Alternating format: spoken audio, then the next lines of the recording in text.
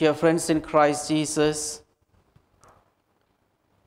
today we have begun the season of Advent, the new liturgical cycle. And on this day, as we begin to prepare ourselves to receive our Savior once again into our lives, we have a very, very wonderful message which is very much striking for every one of us. Once, a woman went to a priest for confession. She confessed her sins, and the priest gave her an unusual penance. The penance is he gave her a bunch of feathers, and asked the woman, as she goes to her house to take the feathers one each and threw up into the air, the woman took the bunch of feathers, started plucking one each from the bunch, and she threw the feathers into the air. She went home, finished throwing the feathers in the air, and again she returned back to the priest and said, Father, I have done what you have asked me to do. And the priest plainly told her, My dear, now you go and pick up all the feathers what you have threw into the air. The woman was perplexed at that moment and she said, Father, but how can I? It is not possible for me to go and collect the feathers what I have thrown into the air. And the father said, That is true. And this is what happens, my dear. Whenever we ridicule the other person, whenever we damage the character of our neighbor, and whenever we hurt any other person by our anger and by our egoistic attitude, we can't repair it, we can't get it back. This is what we need to control ourselves. And at this moment, I would like to say the beautiful saying.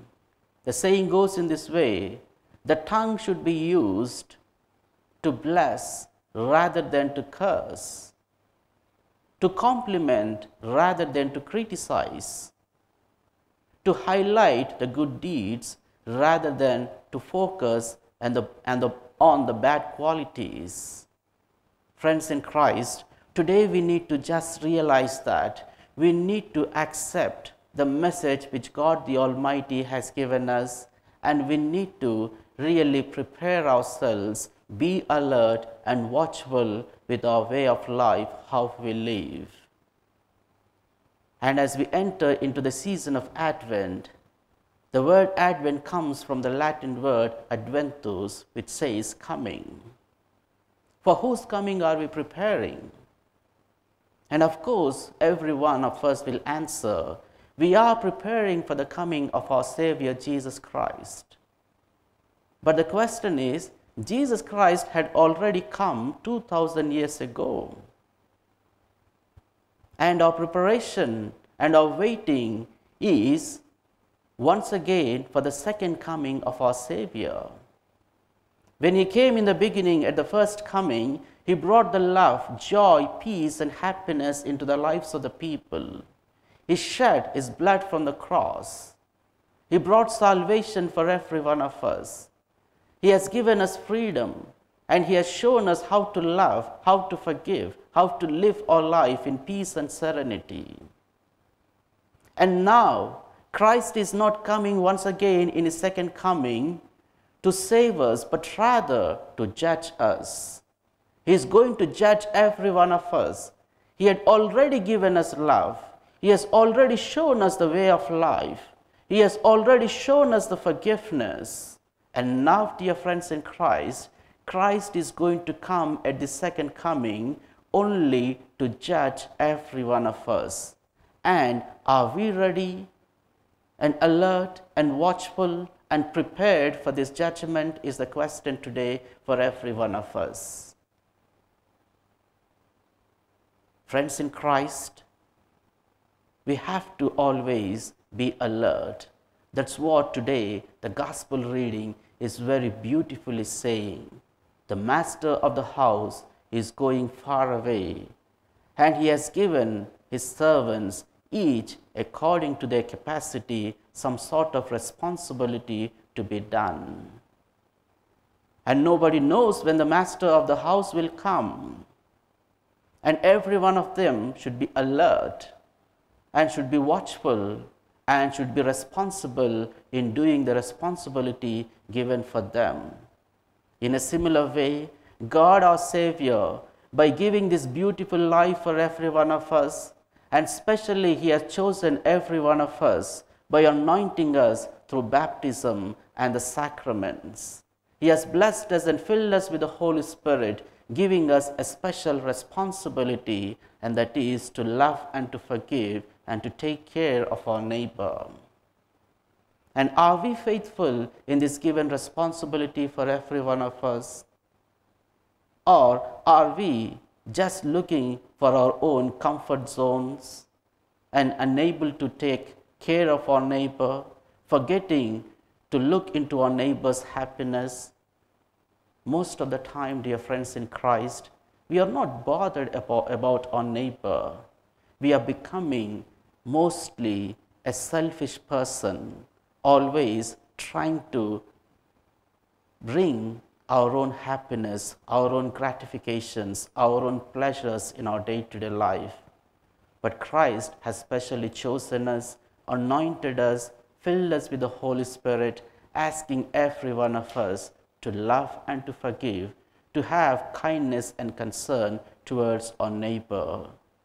If we have failed in being kind and in being able to take care of our neighbor, then, dear friends in Christ, we need to face the judgment at the second coming. And why and how we need to prepare ourselves today is the question. And I would like to propose three important things where we need to really transform ourselves. The first thing is we need to renew the way we speak. Our tongue plays a vital role in our spiritual journey every time whenever we get angry, and in anger, whenever we curse our neighbor, we do a lot of damage to our neighbor. But today, dear friends in Christ, we need to focus mostly on our tongue, how and what we speak. And then, when we renew ourselves, our speech, then we fall into the right destination in working towards the kingdom of God the Almighty. And secondly, dear friends in Christ, we need to renew the way we act. We need the witnesses in the world. We need to be witness to everything what we speak. Only we bear witness to the verbal words what we speak, but rather in our actions we fail to bear witness. Today, we need to do some sort of acts as a witness to the words what we speak and to the faith what we believe. So, we need to renew our acts. And thirdly, dear friends in Christ, we need to renew our, our attitude. When we look into our own personal selves and see our attitude plays a vital role. But if we have the attitude of being an egoist, being a selfish person, being timid, and a possessive person, then we will not be able to be the true member of the kingdom of God. Our attitude plays an important role. We need to be a person of love and concern.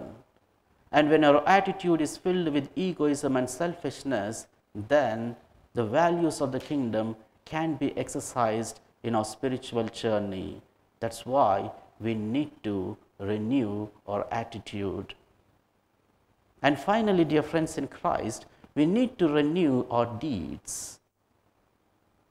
And to conclude, I would like to say the beautiful saying if a child lives in criticism, the child learns to find fault. If a child lives in hostility, the child learns to fight. If a child lives in encouragement, the child finds confidence. If a child lives in praise, the child learns to be appreciative. And if a child lives in love, the child's life will become love. So, friends in Christ, our attitude plays a vital role.